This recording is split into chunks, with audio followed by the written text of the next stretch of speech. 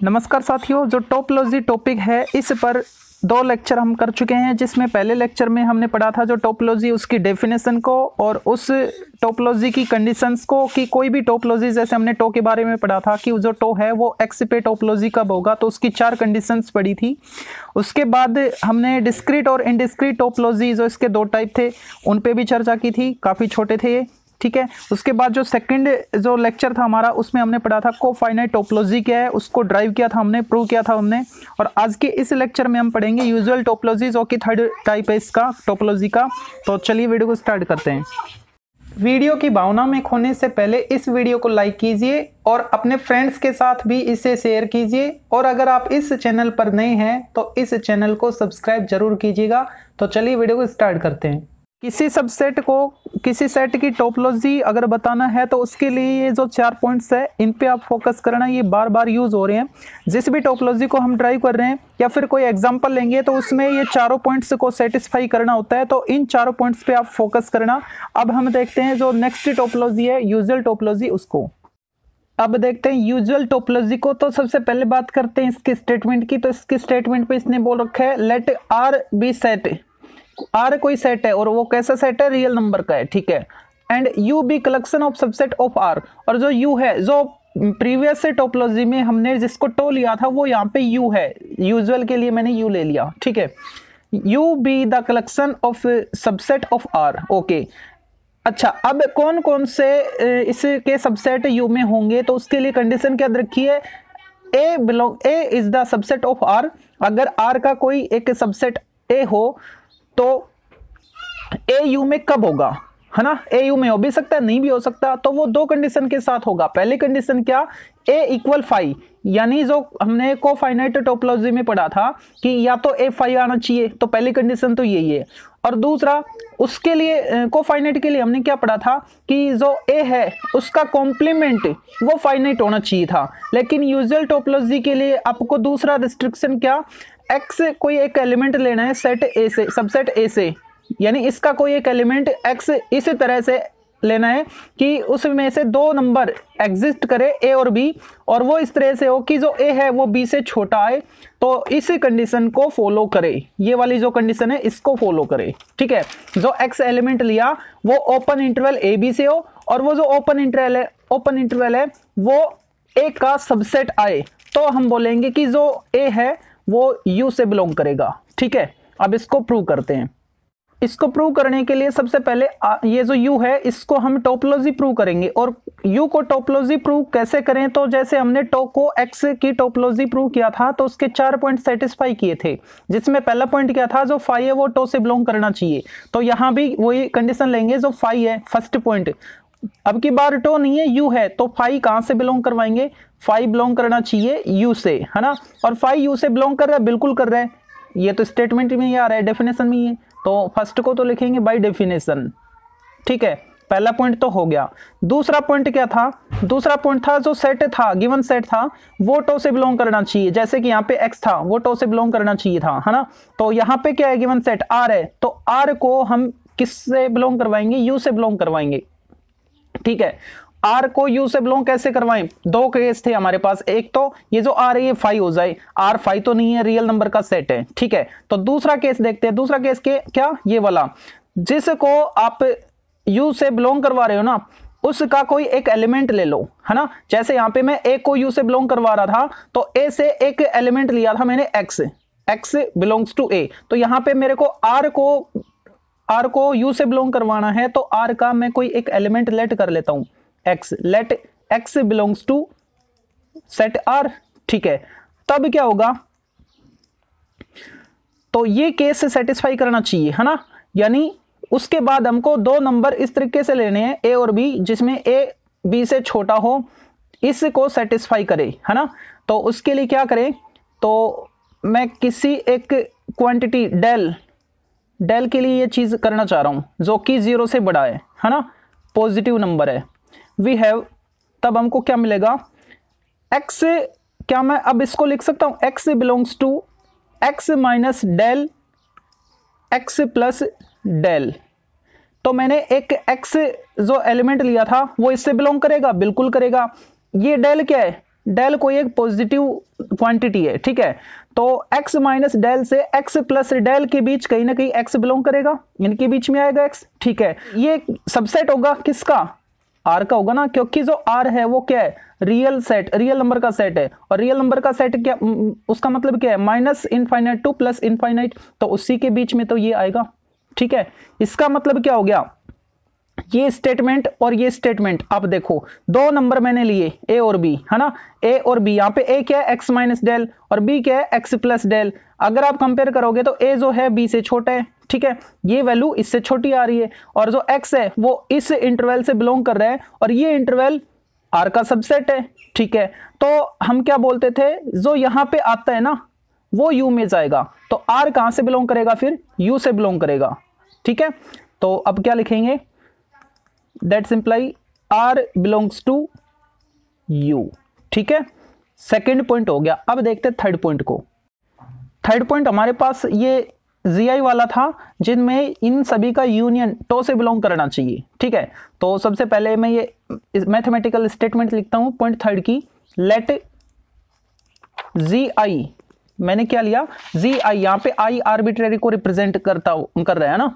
G i define as i belongs to i be arbitrary collection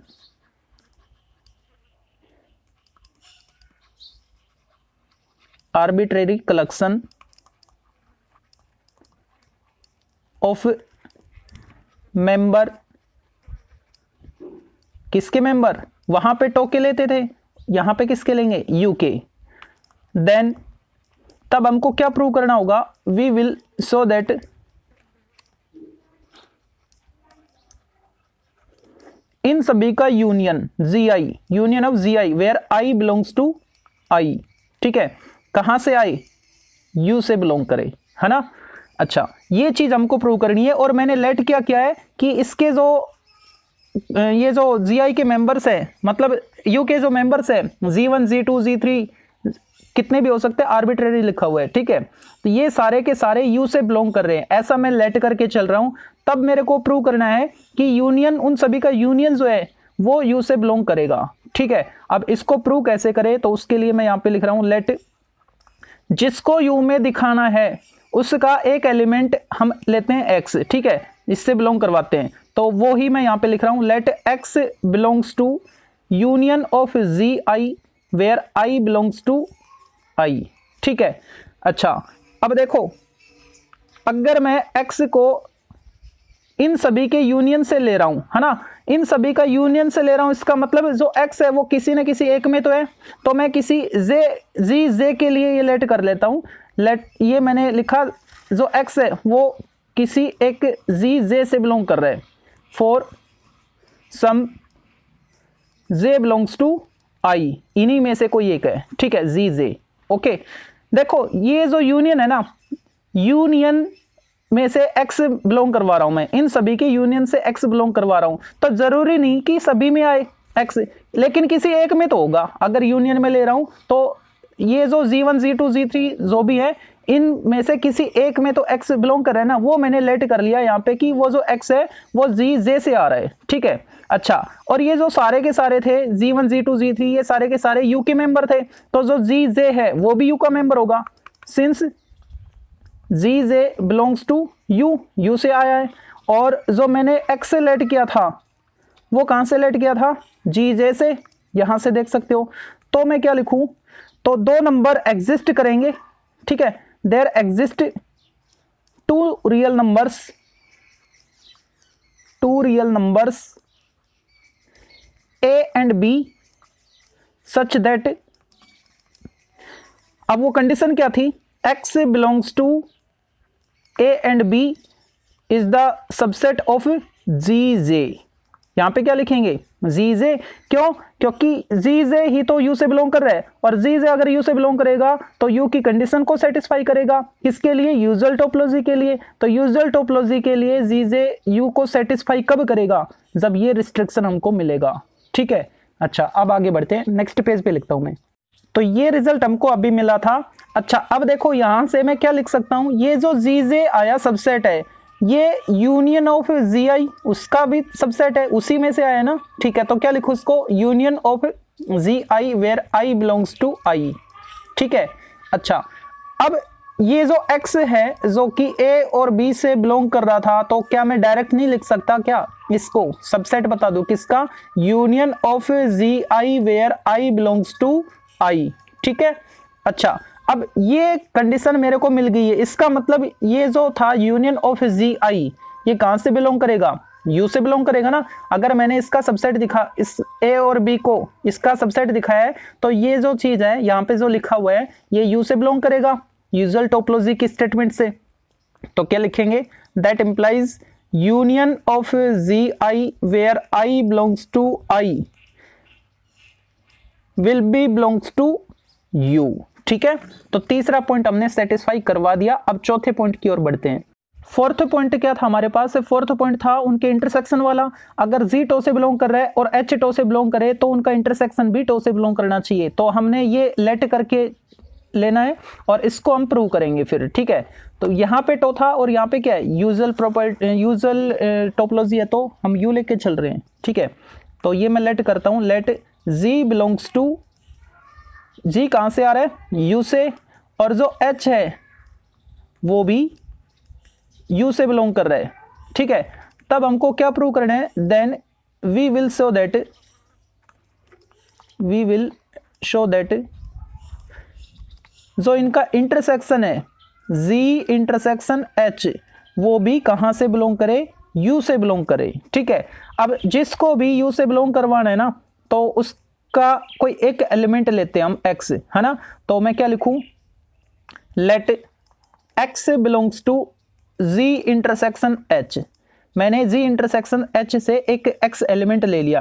अब देखो, z और h का intersection और उसका एक एलिमेंट है। इसका मतलब वो दोनों में होगा क्योंकि इंटरसेक्शन की बात हो रही है, ठीक है? तो क्या लिखूं मैं? जो x है, वो z से भी बिलोंग कर रहा है, ठीक है? और जो x है, वो h से भी बिलोंग कर रहा है ओके अच्छा अब देखो जी एक्स को मैंने जी से बिलोंग करवाया यहाँ पे, है ना? और जो जी था, वो यू से बिलोंग कर रहा है। And g belongs to u अब जो यूजल टोपोलॉजी की स्टेटमेंट हमने पढ़ी थी, एक बार उसको फोकस करते हैं। क्या पढ़ा था? अगर ए यू से बिलोंग करे, है ना? तो ये फाई तो नहीं है वहाँ पे। ओके क्योंकि एक्स एलिमेंट हमने लिया है उन दोनों के इंटरसेक्शन से मतलब कुछ ना कुछ एलिमेंट ज़रूर है। तो ए तो फाई तो नहीं है है ना? तो अगर मैं ए को यू में दिखाऊँगा तो एक्स जो है, वो ए से बिलोंग करना चाहिए। ठीक है तो हमने भी यही लिखा है कि जो एक्स है, वो जी से बिलोंग कर रहा है। ओके और जी अगर यू का मेंबर है जी अगर यू से आया है तो हमने क्या बोला था? ये कंडीशन सेटिस्फाई होनी चाहिए। यानी x से belongs to open interval a b और ये सबसेट होना चाहिए इंटरवल किसका? ए का, है ना? तो यहाँ पे भी मैं यही लिखने वाला हूँ, क्यों? क्योंकि जो z है, वो u से बिलोंग कर रहा है। अगर z u से बिलोंग कर रहा है तो u की कंडीशन को सेटिस्फाई करेगा। और सेटिस्फाई करने वाली कंडीशन क्या थी? कि इसका एक एलिमेंट हम लेते थे x, है ना? वो दो नंबर के साथ तो उन दो नंबर को हम एग्जिस्ट करवा सकते हैं अब। तो क्या लिखे? So there exist there exist two real numbers और उन रियल नंबर्स को मैं ए और बी लेट कर लेता हूँ। A and B such that किस तरीके से ले? Such that X belongs to open interval A B is the subset of किसका सबसेट ले? जी का, क्योंकि जी यू में दिखाना है ना। ठीक है? जी यू से आ रहा था ना तो ये सबसेट वाली कंडीशन जी पे लागू होगी। ठीक है? तो इसको मैं मान लेता हूँ। इक्वेशन फ़र्स्ट इसी तरह से हम एच के लिए करेंगे। ठीक है? नेक्स्ट पेज पे चलते हैं। ये फ़र्स्ट इक्वेशन हमारे पास अभी आया था। उसके बाद में एच के लिए भी ऐसा ही कुछ इक्वेशन लेकर आऊँगा। तो यहाँ पे मैं लिख रहा हूँ since x belongs to h क्यों? क्योंकि जी और एच का इंटरसेक्शन जो हमने लिया था जी और एच का इंटरसेक्शन लिया था और उनका एक एलिमेंट लिया था एक्स तो दोनों में था ना एक्स जी में भी और एच में भी। तो एक्स बिलोंग्स टू एच में लिख रहा हूँ, ठीक है? तो मैंने क्या लिखा यहाँ पे? Since x belongs to h okay और जो एच था वो यू से बिलोंग कर रहा था। ये हमने शुरू में ही लेट किया था। एच बिलोंग्स टू यू तभी तो हम इनका इंटरसेक्शन प्रूव कर पाएँगे। ये लिखा था ना मैंने। H belongs to u g को भी और एच को भी यू से बिलोंग करवाया था। ठीक है? अच्छा अब देखो। यहाँ पे एक्स जो है, वो एच का एक एलिमेंट है और जो एच है, वो यू से बिलोंग कर रहा है। तो यू से बिलोंग करेगा तो यू की कंडीशन को सेटिस्फाई करेगा। और यू की कंडीशन क्या थी? जिसको आप यू से बिलोंग करवा रहे हो ना, उसका एक एलिमेंट लो, बिल्कुल मिल रहा है। तो वो कंडीशन क्या थी? जो एक्स है सॉरी मैं लिख देता हूँ पहले। There exist two number so there exist two real numbers अब वो जो दो रियल नंबर है ए और बी वो तो हम इक्वेशन फ़र्स्ट में जी के लिए ले चुके हैं ना? तो यहाँ पे मैं सी और डी ले लेता हूँ।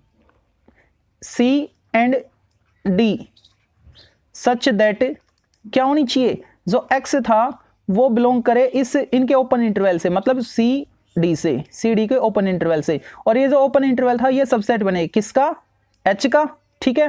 तो ये मान लेते हैं इक्वेशन सेकंड लेकिन हमको तो इनका इंटरसेक्शन प्रूव करना है ना। इंटरसेक्शन मतलब फ़र्स्ट और सेकंड इक्वेशन का intersection from equation first and second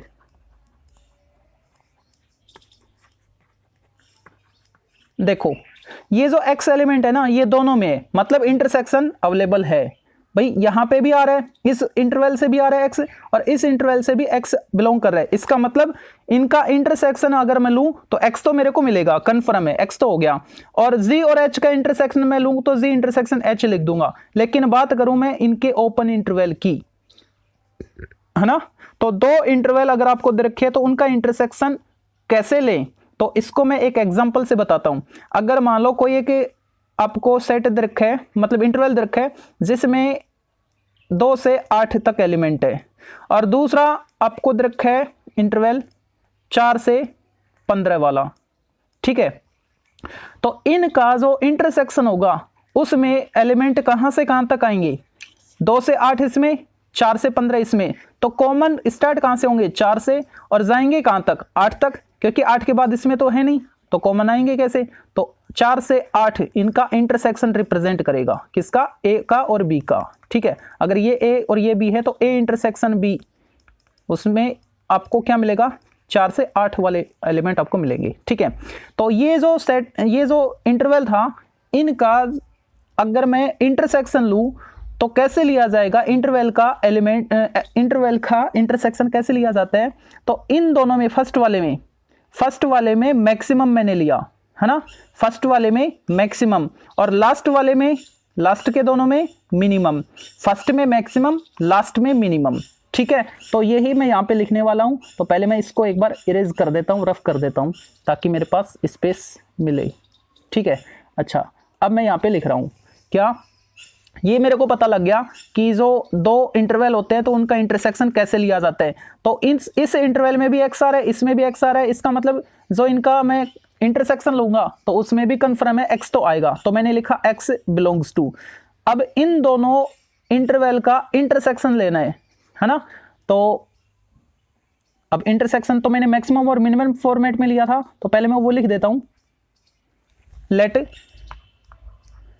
जो ई e है, वो रिप्रेजेंट कर रहा है मैक्सिमम ऑफ़ मैक्सिमम ऑफ़ किन का मैक्सिमम शुरू वाले का मैक्सिमम था ना? शुरू के दो का। मतलब ए और सी इनका मैक्सिमम ठीक है करली ब्रैकेट में ले लेते हैं। और जो एफ़ है, ठीक है, वो रिप्रेजेंट कर रहा है मिनिमम ऑफ़ मिनिमम किन का? पीछे वालों का। ठीक है minimum of c sorry b and d ठीक है ये मैंने लेट कर लिया। ओके अच्छा अब मैं इनका इंटरसेक्शन लेता हूँ फ़र्स्ट और सेकंड का। तो एक्स तो दोनों में मिलेगा। एक्स बिलोंग्स टू अब देखो इन दोनों का दोनों इंटरवल का इंटरसेक्शन और इंटरसेक्शन कैसे लिया था? शुरू वाले दो का मैक्सिमम है ना? तो ए और सी का मैक्सिमम यहाँ पे कौन रिप्रेजेंट कर रहा है? ई e, तो मैंने लिखा ई e, और लास्ट वालों का मिनिमम तो लास्ट वालों बी और डी का मिनिमम कौन रिप्रेजेंट कर रहा है? एफ़ ठीक है? अच्छा ये सिंबल सबसेट वाला। इन दोनों का इंटरसेक्शन कैसे ले? जी इंटरसेक्शन एच लिख के। अब देखो, ये कंडीशन सेटिस्फाई हुई या नहीं यू वाली। देखो, यहाँ पे z इंटरसेक्शन h को u से बिलोंग करवाना है ना तो z इंटरसेक्शन h के लिए ये कंडीशन सेटिस्फाई होनी चाहिए, ठीक है? दो रियल नंबर के लिए e और f के लिए, जैसे मैंने यहाँ पे लिख दिया e और f के लिए, है ना? तो अब हम क्या लिखेंगे? जो z इंटरसेक्शन h है, वो कहाँ से बिलोंग करेगा? U से बिलोंग करेगा। That implies z intersection h belongs to u. Okay अच्छा अब जी इंटरसेक्शन एच भी यू से बिलोंग कर गया। मतलब चौथा पॉइंट भी सेटिस्फाई हो गया। चारों पॉइंट सेटिस्फाई हो रहे हैं तो हम क्या लिखेंगे? जो यू है, वो टोपोलॉजी है आर में। ठीक है? Hence u is a topology on r और किस टाइप की टोपोलॉजी है? and called usual topology on R. Usual topology on R. Hence prove. Thank you.